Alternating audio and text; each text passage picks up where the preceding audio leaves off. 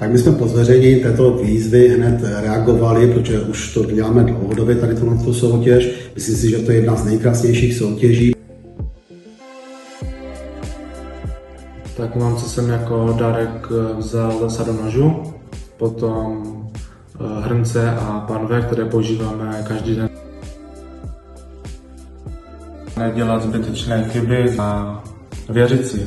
To je asi to nejdůležitější, co v takových soutěžích eh, musíte mít. Chtěla bych studenty poprosit, aby nestresovali, pracovali v klidu a to, co natrénovali, aby potom dokázali prodat.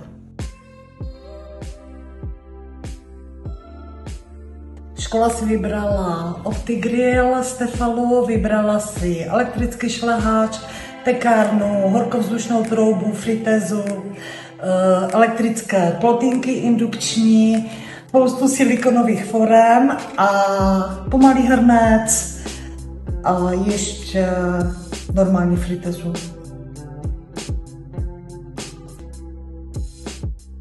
Tak studenti tam získali určitě nové zkušenosti a poznatky, které potom dále mohli využít v různých soutěžích a při různých akcích.